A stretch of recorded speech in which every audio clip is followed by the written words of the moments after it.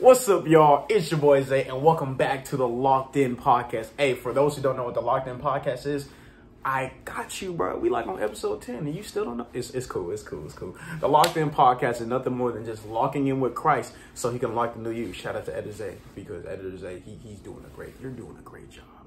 A very great job. I just want to tell you that. I know I'm you, but I just want to tell you that. All right. but it's all about locking in with God. It is a Christian's POV. And in this podcast, you guys will learn purpose. You guys will understand that God has a purpose for each and every one of our lives. And he's calling us to focus and lock in and secure ourselves in his will and what he has called us to do in that purpose. But a lock works two ways. So that means if we're going to lock into something, that means we need to unlock from certain things that aren't him. What, what am I saying? That means a toxic mentality. That means what you say to yourself, low self-esteem. Maybe you bad with money. Maybe your behavior, where your heart is in that purpose. And then God is calling us to focus.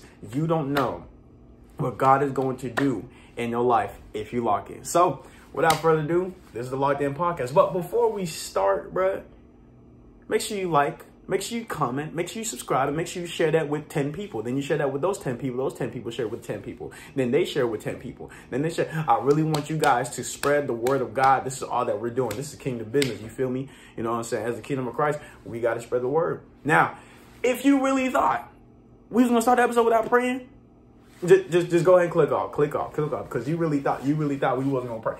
Let us pray. Father God, we thank you for this day. We thank you for this time and this opportunity. Lord, we bless this episode. Lord, have your way. Holy Spirit, continue to teach us on the topic of today regarding prayer. God, I pray for this person's week, God, whoever is watching, whatever the circumstance, whatever the situation is, Lord, I pray that they begin to press, God. They continue to press into your word, press into your presence, press into your will, God, as they begin to be blessed, God, throughout the week, as they continue to move on and move forward in whatever it is that they are dealing with, Lord. I pray that people are saved. I pray that people are set free from the bondage in their minds, the bondage regarding their finances, the bondage regarding their families, God. Whatever battle that they are facing, Holy Spirit, I pray that you equip them with the with the weapons that they need, and that is simply the word of God, Lord, that you help us put on the full armor so we can stand against the enemy, God, who's already a defeated enemy. So we ain't got time for him. But Father God, I pray that we grow in you, grow in grow in your presence, grow in your knowledge, and God, I pray that we stay locked in and secured in you. In Jesus' mighty master's name, we pray. Amen let's go. Hey, I ain't gonna waste no time. Today's topic, we are gonna be talking about prayer, particularly prayer life. Shout out to Editor Zay, you feel me? You know what I'm saying? but prayer life. But I want to ask y'all a question because y'all y'all know I gotta ask y'all a question. I ain't got these glasses for a reason. I gotta ask you a question. You feel me? What does it mean to you to pray? What does prayer mean to you? I want you guys to comment down below and ask yourself, what does prayer mean to you? To you, you feel me? And so, as you do that, let's do a social media break. Make sure you guys follow Isaiah Kayembe Official, which is my personal IG page, which is my TikTok, Isaiah Kayembe. You dig what I'm saying? My Snapchat, Isaiah underscore K 101. But more importantly, make sure you follow the Locked In Podcast IG. You feel me? We, hey, we give God glory. We got 101 followers, y'all. Hey, it's crazy. And we have 83 subscribers on YouTube. I am blessed for every single. That means one person is subscribing daily. You guys don't know the little things that that blesses me, that that allows me to know that God is still has his hand on it and I got to keep going. You feel me? So make sure you follow Locking In Pod not underscore. I keep saying underscore. Why do I keep saying underscore, bro? Locking in pod, lowercase. You feel me? Make sure you guys follow. Make sure to DM us any testimonies that you have, any future topics you guys want to talk about. Maybe a Q&A. Any questions that you guys have, we can go ahead and we can talk about the podcast. You feel me? So, after that social media break, let's talk about prayer. So, the Lord has been putting prayer on my heart for about let's going on for a week now, about a week. And I didn't know why. But you know that feeling when like you be chilling you feel like something coming, like you just like, hey, I don't know what's gonna happen, but God finna do something. I don't know what's gonna happen, today's gonna be a good day, or this is gonna happen. And that's what the Lord get he told me. And so when he instructed me on prayer, prayer, prayer, prayer, I was like, okay, Lord, I pray already, I already have a prayer life. He said, no, no, no, no, no, no, no, no, no. I want you to teach my people how to pray. And I was like, uh, they don't know how to pray already. He said, I want you to teach them how to pray. And I was like, okay. so I heard you the first time. But then he started telling me why. The Lord is calling us as believers. So this is a message to believers. God is calling us to equip his people. That means to get them ready for what's to come. He's telling us to get ready for the purpose. Telling us to get ready for whatever relationship. He's telling us to get ready for whatever business proposal. He's telling us to get ready for whatever open door that, that's coming. He's telling you to get ready for whatever closed door. He's telling you to get ready for what the next instruction and command he's going to give you. But in order for us to understand what the next command is, in order for us to hear, we have to pray. And so today's episode, I'm going to talk about prayer, but mainly we're going to talk about three main things. We're going to talk about what is prayer. We're going to talk about when to pray. And then lastly, we're going to talk about why to pray. So the first thing first, what is prayer? Prayer is nothing more than you talking with God. Prayer is a conversation. I'm going to say how my mentors tell me. When I was learning how to understand what prayer truly was and how effective it is, they said, Isaiah, prayer is not just you talking to God, it's God talking to you as well. And I was like, huh. It's because he said, prayer is a conversation with God, it is a dialogue, not a monologue. So, praying praying is very essential especially as a believer especially as a christian because that is how we communicate with God. We first communicate God through his word, obviously by reading. We spend time knowing what he says, knowing his characteristics, finding out who he is and his principles, and then imparting that in our lives. But most importantly is prayer. Prayer is where we are actually connected and we sit down and we get to talk to the Father. You dig what I'm saying? And the only reason why I'm saying that is because how can I get to know you if I don't have a conversation with you? Because if I can't sit down and hear you, if I can't sit down and uh, understand what's on your mind, what's on your heart, guess what? I'm I'm thinking I'm good over here when you're totally different. And that's how I thought when I was praying at first. Because at first, my mom, she introduced me. Shout out to my mom. She taught me how to pray. And she taught my family how to pray. Pray your warrior, you feel me? So, love you, mom. So basically, when I was starting out and learning how to pray, I learned, unfortunately, I don't want to say unfortunately, but you know what I mean.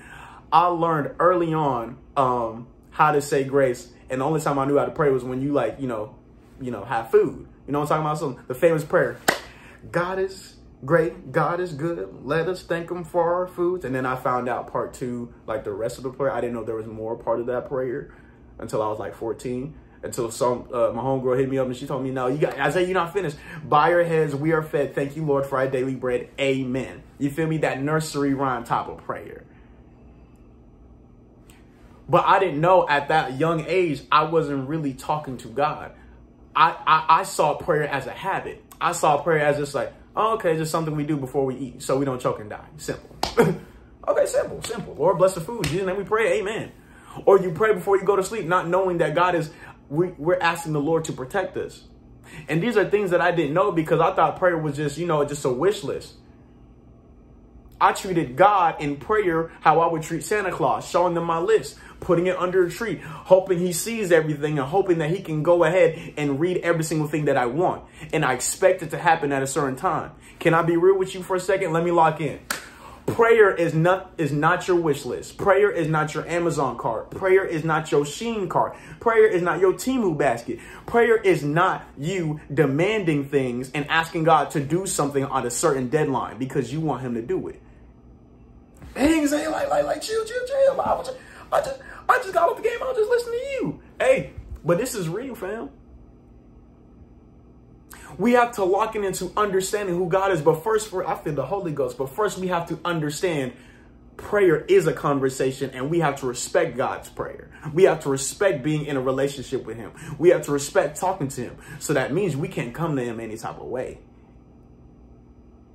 So since prayer is a conversation with God, it's not just you saying, God, I want this, God, I want that, God, I want this, God, I want that, God, I want this, God, I want that, God, I want her, God, I want him, God, I want this, God, I want this car. No, no, no, no, no, no, no, no, no, no, no, no, no, gang. That's not what that is. It's having a conversation, letting know, God, how was your day? Lord, what's on your heart? Coming to him, being a safe place. Because prayer prayer is literally a safe place. The Bible calls God a refuge. So a refuge is nothing more than just a, a, shelter. So when you pray or that conversation with God, is the safe place that you need. It's not that FaceTime. It's not that group gossip uh, session. It's not you going to the court and hooping and just talking about everything. It's prayer. It's the safe place. It's where you can be vulnerable. That thing you don't want to show anybody else, but you're willing to show God. Because he can handle it. He can handle it. So that's what prayer is. It's not only us talking to God and letting him know what's on our heart, but it's allowing ourselves to submit ourselves, which means be humble. Not worry about what bills we gonna pay, not worry about how our credit score is, not worry about if we got a car or not, not worry if she gonna text back or not, not worrying if he gonna call me back or not, not worried about if I'm I got enough for this day, not worrying about if I'm on the schedule, not worried about any of that, but to know what does God feel? How does God feel about my life? How does God feel about it? Matter of fact, God, how are you doing? What's on your heart? Lord, what's on your mind? Because I'm talking about me, but I'm not being considerate in the conversation. And I got to lock in. We need to unlock ourselves from being inconsiderate with God. Because could it be possible the reason why your prayers aren't getting answers because you talk too much and you don't know how to receive?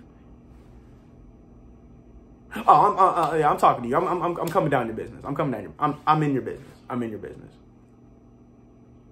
Because we got it twisted. It's not about getting what we want. It's the conversation to provide us with what we need. So you may want a spouse, but in prayer, God is telling you, hey, I need you to be holy, and that's why she ain't come.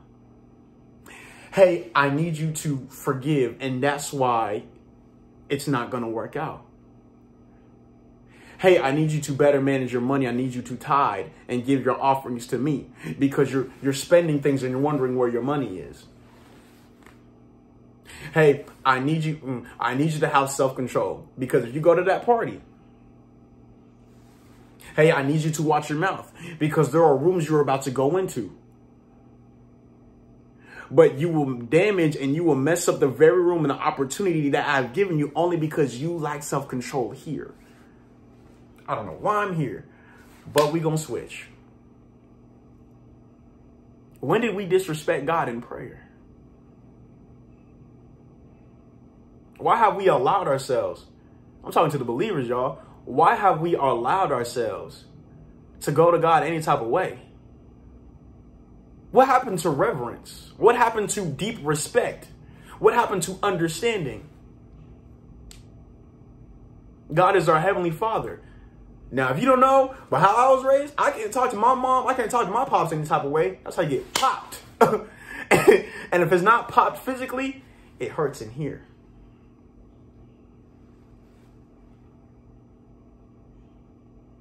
So lock into going to God in prayer the right way. So that means I'm not just going based on God. I can't believe this happened. God, I can't believe Lord. This, Lord, you. Why did you allow this? Why did you? What did it? Uh uh uh uh uh uh uh uh. uh. You got to be willing to be like, you know what, Lord. I had a long day, but God, you're still good. Talk to Him. You know, stranger. And be like, Lord, I have, I had a tough day, but you've been good. Lord, I thank you for allowing me to get through the tough day so I can push forward and so I can move forward. I thank you and I honor you and I praise you. So, God, I give you my day. I surrender it. In Jesus' name we pray. Amen. It's a conversation. Now, Lord, what what is on your heart? What what do what would you like to show me? What are you trying?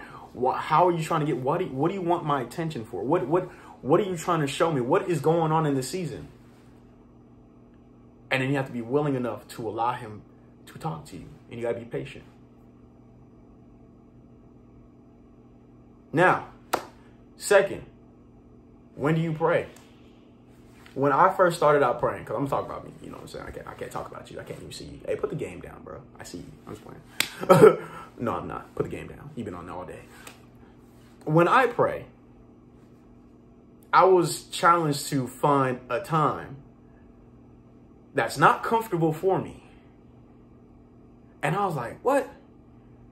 Zay, at first I started out praying after Bible study. And other times I got up and then I would pray and then I would read my Bible, then I would go on about my day. But that's when I was starting out. But when God called me to go deeper in prayer, deeper into his presence, and deeper into um, who he is, that means I had to change. That means I needed to I needed to be disciplined in more areas because I was comfortable. I was comfortable when waking up in the morning saying, God, I thank you for my day. Lord, bless my day. His name I pray, amen.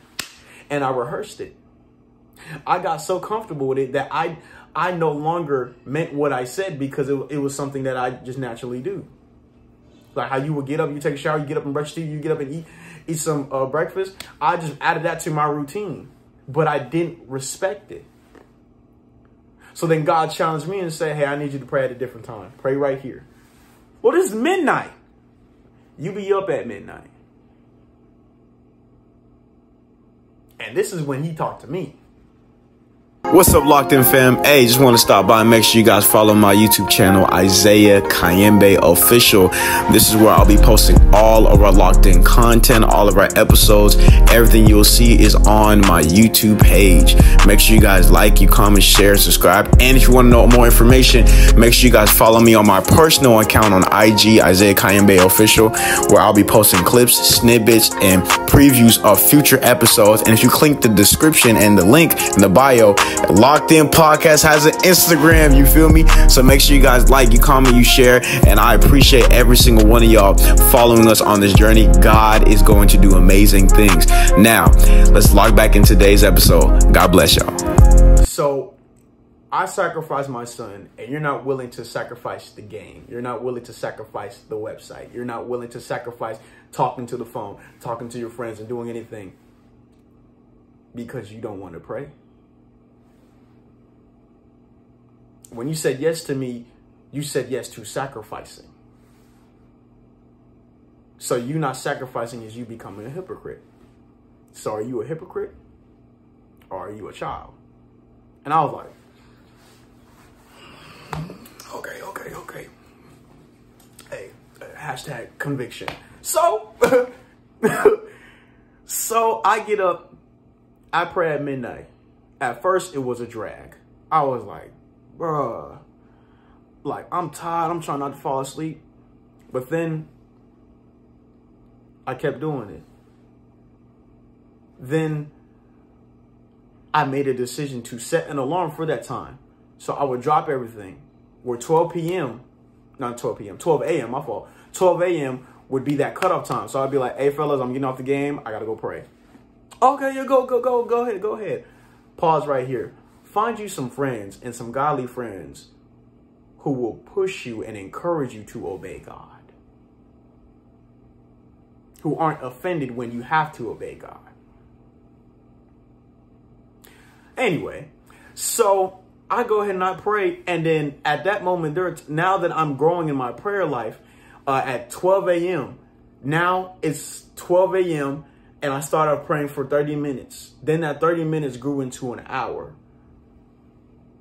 And then after that hour, I didn't even worry about how long I prayed.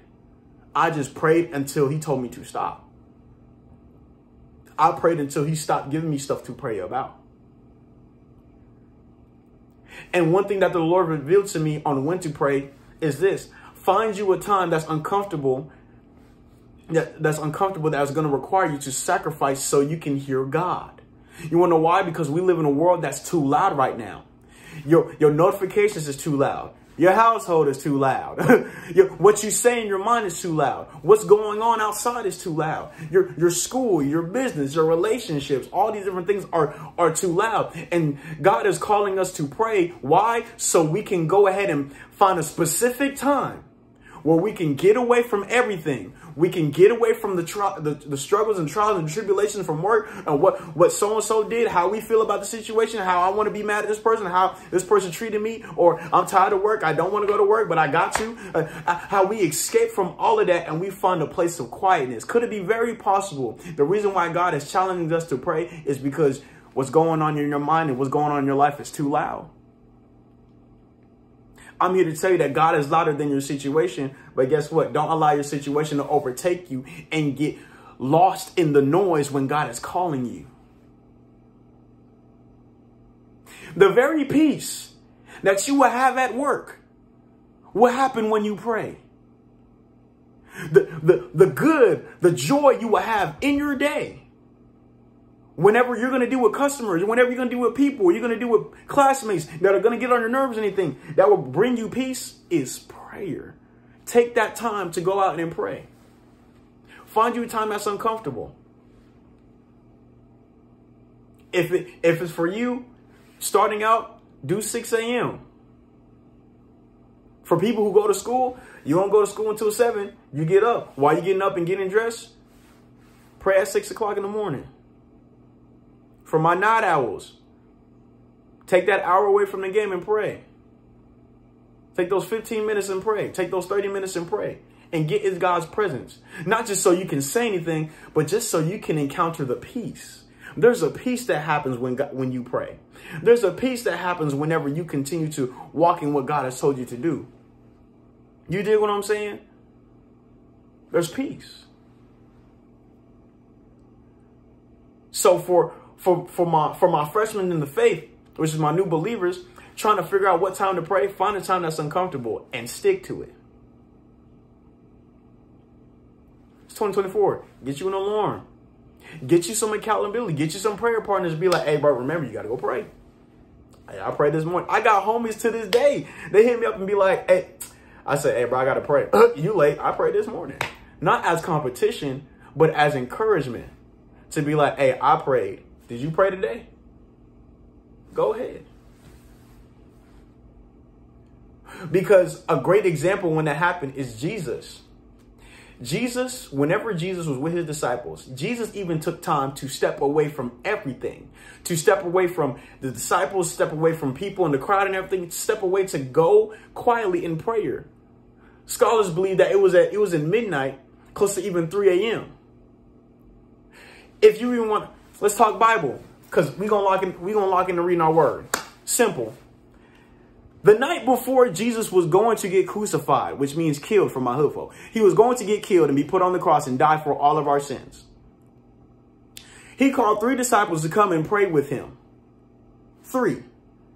Those three, this is a way, Zay version. Those three, they kept falling asleep. You know what I'm saying? They spent too much time they spend too much time FaceTime, they spend too much time talking, they spend too much time doing something or whatnot. That's not true. This just is a addition. It's just so I can make sure you understand the Bible. You feel me? Go read the Bible. It's it, it does wonders. It really does. So they kept falling asleep, and Jesus Jesus went ahead and he just prayed. Since they gonna fall asleep, I'm gonna just pray. And then the fact that Jesus was able, this is Jesus we're talking about. Walking on water, Jesus, turn water into wine, you feel me? Like nails, like holes in his hands, Jesus. Like hole in his side. This is the Jesus we talking about. Who went to hell, got the keys back, preached in hell, you know, died, died, and three days he rose up from the grave, and he's now alive in, at the right hand of God in heaven. And he's now alive inside of you if you accept him to be uh, Lord and Savior. This Jesus we talking about. He prayed. Now, when I was first introduced, I was like, Jesus don't need to pray. He's the Son of God. Like, you got what do you need to pray for?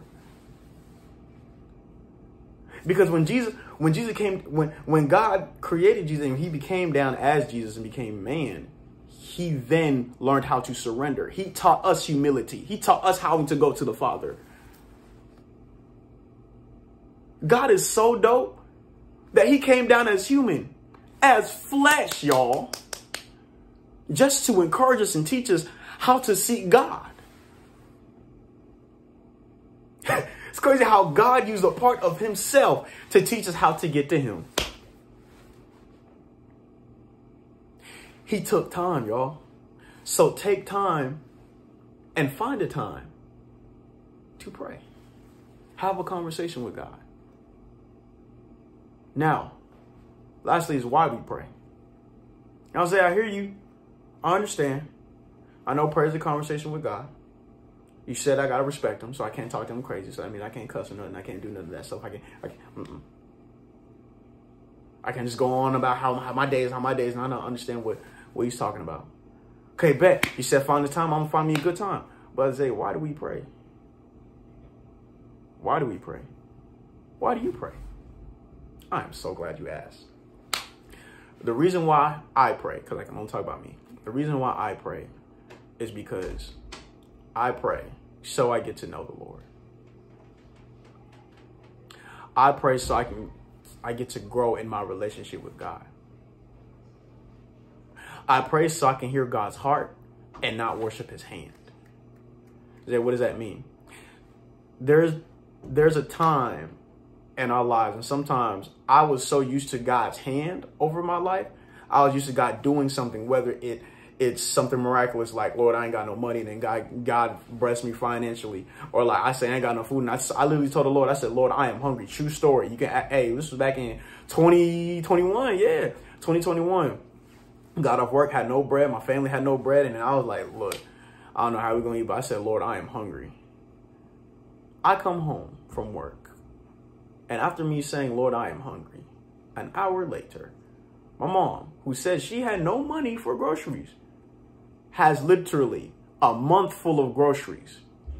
And she had chicken. Because I prayed for chicken specifically. And I said, whoa, whoa. And y'all probably like, bro, really?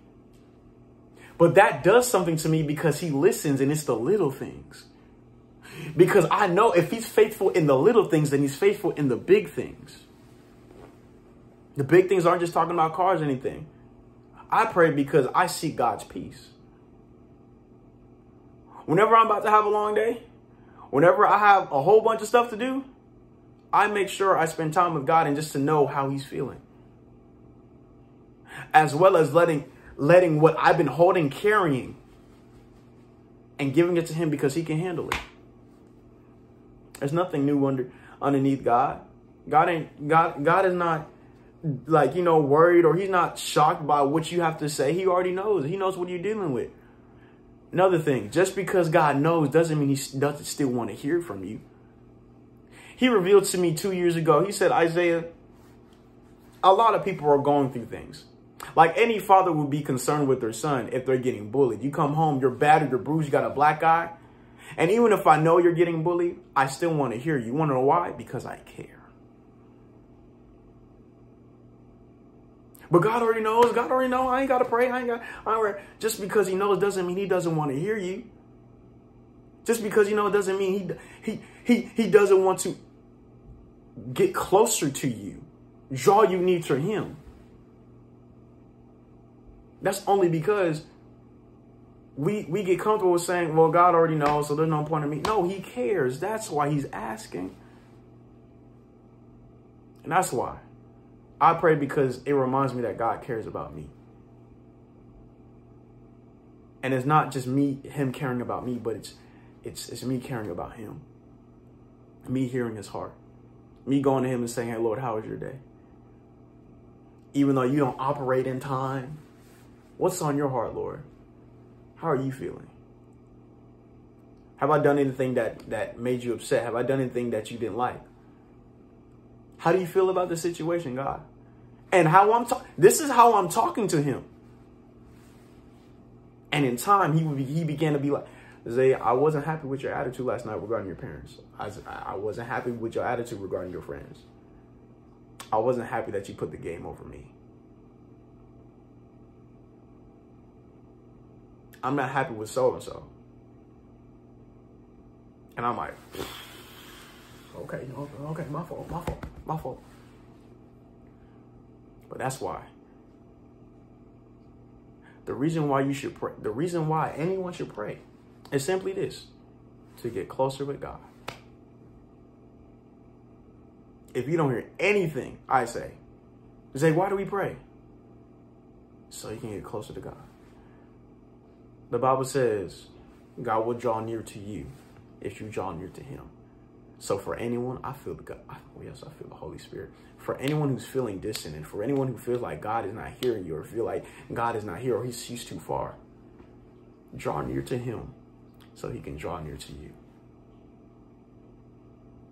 That's all I got for y'all today. Hey, this has been the Locked In Podcast. I hope you guys know that when you lock in with Christ, He can unlock the new you. If you want to be locked in with Christ and accept Jesus as your Lord and Savior, repeat this prayer after me say, Father God, I give you my life. I give you my heart. I give you my soul. The Bible says, if I confess with my mouth that Jesus is my Lord, that Jesus is my Savior, and I believe in my heart that Jesus is my Lord, that Jesus is my Savior, that He has died for me, He has died for all of my sins, and He is He is rose in three days, and He is now alive in me. He's now alive in heaven at the right side of you, God. And today I am forever yours. I am forever saved. I am forever set free from sin. And I am saved from now on, forevermore, forevermore, forevermore. I believe today, this day, I am saved. I am locked in with you, Jesus. In Jesus' mighty master's name we pray. Amen.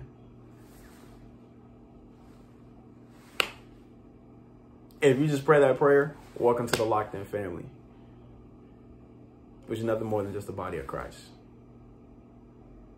before I go into it, make sure you guys you like, make sure you guys you comment, make sure you guys subscribe, and make sure you guys share this episode with people. We have to grow and have to spread God's word, but I cannot do it by myself. We need each other, y'all. I need you. you never know who who God is going to use to reach you or you, you who how God is going to do just to get your attention. Maybe you sharing that message will draw someone near to God. But I challenge you this week, I challenge you today in whatever time zone, wherever you are from, lock into prayer. Lock into having a prayer life. Now, make sure you guys like, comment, subscribe. I know I already said that already. Make sure you guys follow again, locking in pod, not underscore. I keep saying underscore. Locking in pod, all lowercase. Make sure you follow my social media, Isaiah Kayembe official y'all, we are going up. God is going to do a wonderful thing. And you guys don't want to miss the next episode. And next episode, we're going to talk about how to pray. All right. So that's all I got for y'all. Y'all take care. God bless. And remember, lock in with Christ so he can lock into you. Peace. Yea, though I walk through the valley of the shadow of death. The reason, the reason why I'm talking about that is because some of you guys refuse to go to the valley. Oh, they quiet. We, as the body of Christ, have refused to go through the valley. We don't want to go through the financial struggle. We don't want to go through the divorce. Uh oh, I'm here now. We don't want to deal with disobedient children. We don't want to deal with workers who get on our nerves. We don't want to wait for what God has promised us years ago. We don't want to wait, Lord. We don't I want my blessing now. Because I want my blessing now, I'm not walking through no valley with no shadow of death. You're giving me death when you're the God who gives us life. Why am I walking through this valley? And that's what some of you, in the name of, that's what some of you guys sound like in your prayer time.